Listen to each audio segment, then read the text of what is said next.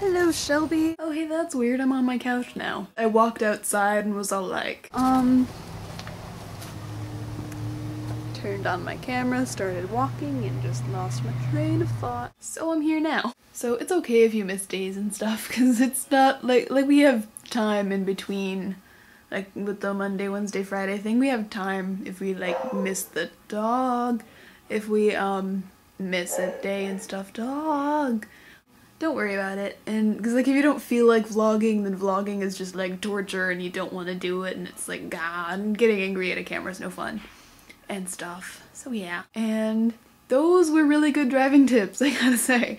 Because, like, with the, like, schmancy driver's manual and, like, instructors and stuff, they don't tell you those sort of things. Like, the, the windshield thing, I, I would have never thought of that. Like, I, I might have figured it out eventually. It's probably just one of those things that you kind of figure out as you're driving, like, oh, hey, I can see the brake lights and stuff through windshields but that's really cool. And you don't have to worry about me going too fast. My problem is I go too slow. I'm getting better about it though.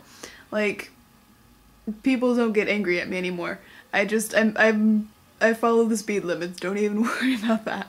And stuff like that. Fun fact, I'm, I kind of put together a schmancy lighting thing because I don't like the lighting in my room when I don't have my windows open in the because the daylight's not there.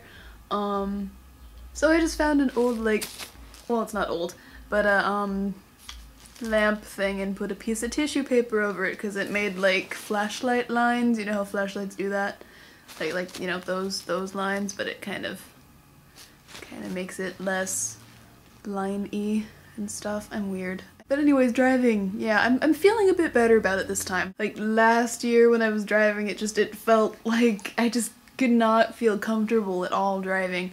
And I felt like it was gonna be one of those things like that I just cannot do, like riding a bike or speaking Spanish. Fun fact, I can't ride a bike.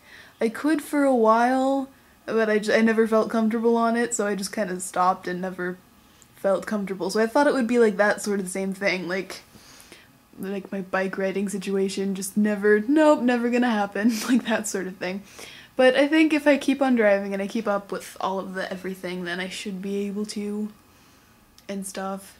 And the paying attention to everything.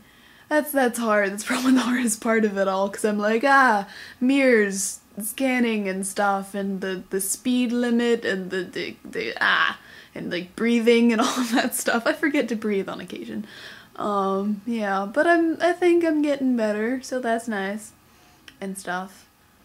Yeah. So thanks for all the tips and things. So I guess I'll see you on Wednesday and stuff. Bye.